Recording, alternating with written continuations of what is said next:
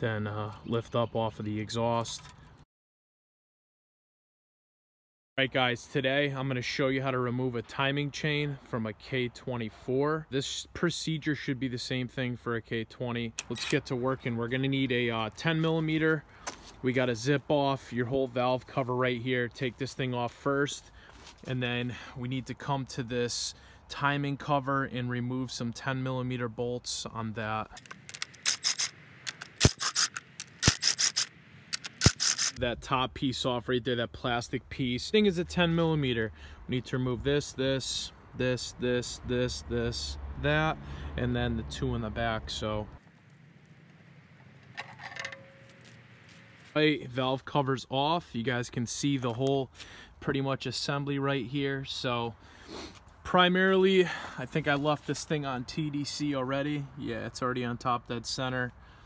Um, you guys can see the punch marks in the back right here. Well, you can't really see them, but if I zoom in right there, those, you should be able to insert pins in each one of those. When it's TDC, your cams will be aligned.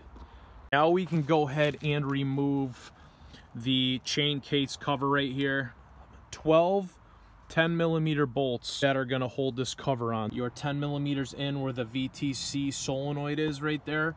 You guys can remove those right there. There's two tens that hold that into place. Obviously, you need to have your crank removed. You need to have your crank removed from the beginning to get this cover off.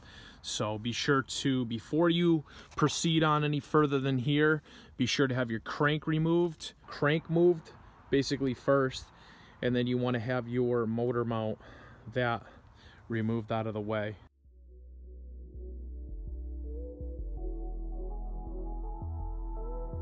Two 10 millimeters that are on the bottom they're different than the rest. They have like this middle section. It's like a, a cylinder piece here compared to just the regular shape. Keep those separated. You guys will probably have three uh, connecting from your oil pan into the cover. I already removed mine so just be sure to remove those three at the bottom. VTC solenoid carefully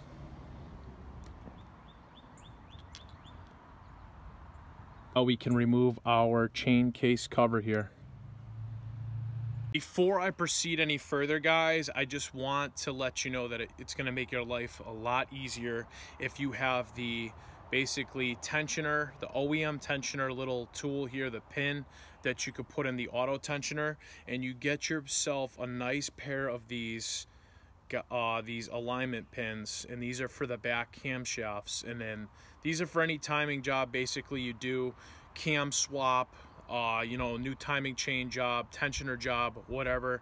Just the reassurance to make sure that your cams do not move when you're doing messing with the chain or tensioner because it can happen. I've seen it happen I've almost had it happen to me basically. Another tool I recommend for this job that we're going to be using is an extension and we're going to need a magnetic spark plug socket. What I'm going to be doing is cylinder number one spark plug out of the chamber there so that I can insert this extension down into my chamber to let me know when the piston rises all the way to top dead center. Guys want to use a breaker bar or a ratchet with a 19 millimeter socket. So you can put it on your crank bolt there at the bottom because we're going to be rotating this thing around.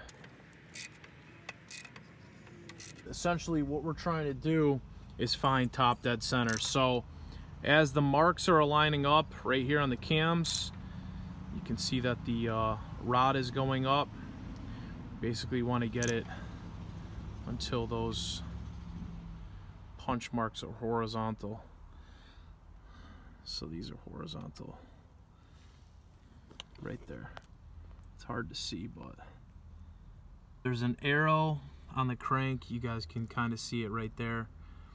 And that is aligned with the arrow that's on the block itself right there. So we're good right now. And the piston up here as you guys saw don't mind all the shakiness guys. I'm using my phone. Piston i don't know if you guys can see down in the uh, cylinder wall there. You probably can't. But the piston's all the way at the top right now. But let's remove this crank bolt right here.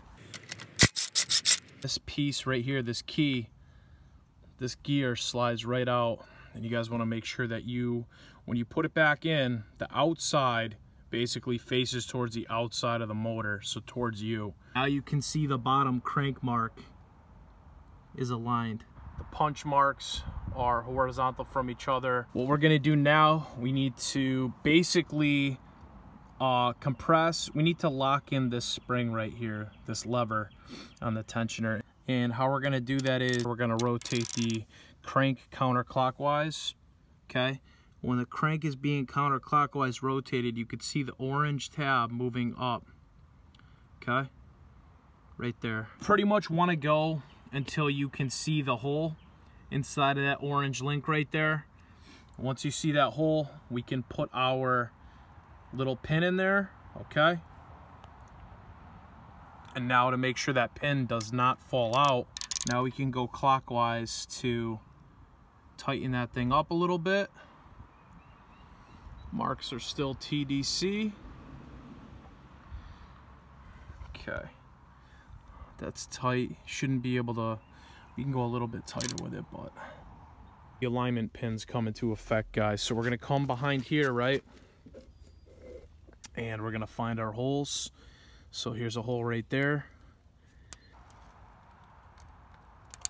Okay, so that locked in. All right, now we can take our uh, our tensioner off, and that is gonna be 10 millimeter, guys. One of the bolts is out. You could see this guide drop back right here. So now that we want to be careful not to drop any bolts into the oil pan. I should have put a little paper towel in there or whatnot, but I'm backing this thing out slowly. Kind of hold on to both the, uh, the screw and the tensioner at the same time. You could just back it off like so, guys. So there's the tensioner.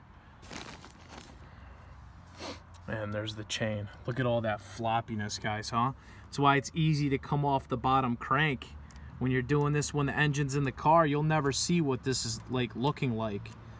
Look at that. There's so much play under there. so easy for this thing to come off the sprocket literally it's just dangling. But what i usually do i leave this guide hanging right here. I always either remove the top one first or this one right here. So i mean in this instance we'll just remove this one right here because it's not that big of a deal.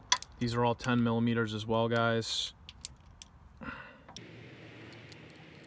All right she's off guys. These are uh, two 12 millimeters at the top for the top guide go ahead and break those free. Get these off so we can remove this top guide here. Allen wrench. Get yourself an allen wrench. You're gonna have to match up the hole here. That's it guys. She's basically done. So uh, we can remove it from I'd probably go from the top. Just take your uh, your chain lift up get it off of uh, take your chain lift up off of the VTC actuator then uh, lift up off of the exhaust and then simply just right over the bottom. So there you guys have it. That's how you do a uh, timing chain removal on a uh, K20 or a K24 you guys can see everything's still lined up.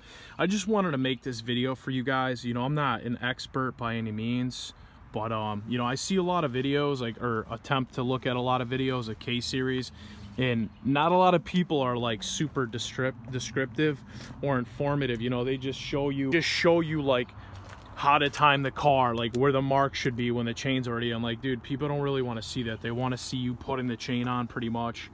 But uh yeah I just wanted to make a video for you guys. Hopefully this helps you know some of you guys out. It should be the same process for the K20 like I said uh this is the JDM K24A this process helped you definitely be sure to give me a like guys. If this video does good I'll make a uh, timing chain installation. They're close to getting this thing swapped very soon. All I'm waiting on is for my new chain my new tensioner. That was just old crap that I used to tinker around with this and test my skills and stuff. So yeah be sure to give me a like guys. Drop your comments down below and uh, subscribe for more content. I'll see all of you in the next video. And remember never stop wrenching.